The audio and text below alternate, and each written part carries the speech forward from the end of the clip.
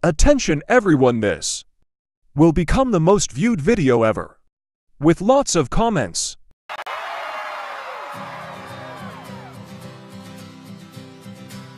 Have you ever put butter on a Pop Tart? It's so frickin' good. Have you ever put butter on a Pop Tart? If you haven't, then I think you should. I was sitting in the kitchen one day and I was itching to fill up my belly with the piping hot jelly of the best damn treat in the world. He's talking Pop Tarts. And I saw a stick of butter and it almost made me shudder and scream like a baby girl. I don't want a giant penis or a rocket trip to Venus. I don't want to win the lottery. I just want to squat and gobble till I'm dizzy and I wobble in a butterfruit and Pop Tart dream. So I put butter on a Pop Tart. It was so friggin' good. Have you ever put butter on a Pop Tart? If you haven't, then I think you should.